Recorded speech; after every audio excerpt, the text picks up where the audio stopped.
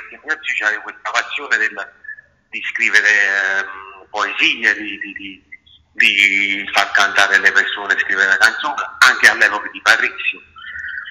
E lui che dice che si è fatto il matrimonio e ha fatto il fotografia, non è vero, perché a casa, andava a casa di mio zio Luigi e ci mangiava, diciamo tra virgolette, erano amici lui conosceva mio zio Luigi, ma al di là del fatto che, era, eh, che faceva il camorista, mio zio Luigi, non è che faceva il camorista, scriveva le canzoni, aveva sopra questa passione di scrivere le canzoni. Scendendo, sempre tutto quanto che, state, che ha collaborato anche lui con D'Agostino e con lui che hanno messo tutti e tre assieme questa canzone.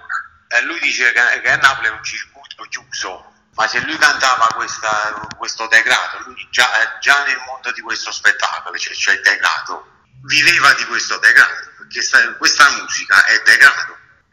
È normale che vieni, vieni circondata dal degrado, perché lo canti il degrado. Frequentava mio zio Luigi, perché mio zio Luigi gli piaceva, come sappiamo tutti quanti, che scrive canzoni, si è diplomata alla scuola di che adesso protezione, c'è sempre questa cosa che sempre, gli è sempre piaciuto di fare questo hobby, come lo vuoi chiamare. Non è vero che si faceva sulle fotografie e non sapeva chi fossero. Veniva, se mangiava, io stavo anch'io.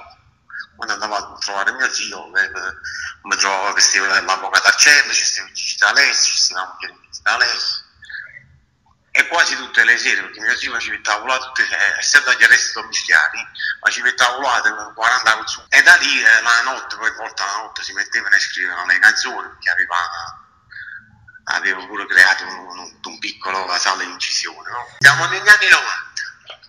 Mio zio era agli arresti domiciliari prima che si costituisse, era agli arresti domiciliari e, e veniva da lei e si scrivevano le canzoni magari avessero i ragazzi la cultura di Chet Baker, Pat Metini. Poi Nino D'Angelo è cresciuto musicalmente, a differenza di Alessia, è cresciuto, eh, eh, Nino D'Angelo sempre ha suonato con Billy Preston. Pino Daniele, eh, quando si è sciolto con il gruppo, ha suonato con gli Spirochina, ha suonato con, ha suonato con Pat Metini, ha fatto una cultura sua, una crescita sua personale.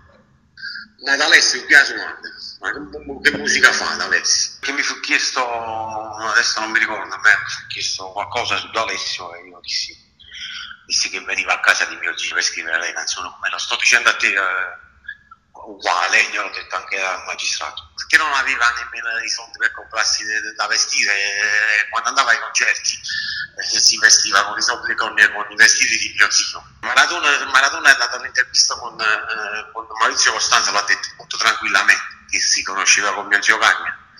Non vedo quale, perché deve emarginare mio zio come e, e dire che non lo conosceva. C'è sta di male dire che conosceva Luigi Giuliano, però non c'è niente a che vedere con quello che lui faceva, al di là delle canzoni. E c'è rimasto un po' male mio zio, però eh, cioè, lascia libere le persone di, di, di anche le bugie.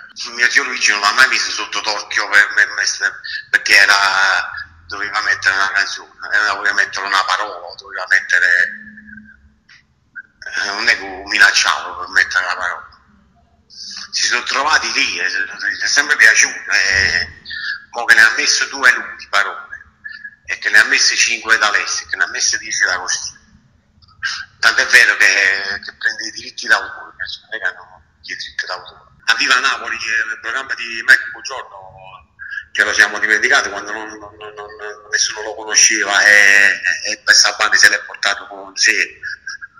Quindi questo circolo vizioso che lui parla è un po' dappertutto il mondo dello spettacolo. Però tengo sempre a precisare, eh, io non sto dicendo questo per dire che D'Alessio è un autista, assolutamente. Però non ci sto il fatto che, che dice su foto, perché al di là del, del camorista si frequentava con una persona, Luigi Giuliano, ed è mio zio non c'è niente di male a dire la verità, perché lui non ha fatto niente di male frequentando mio zio.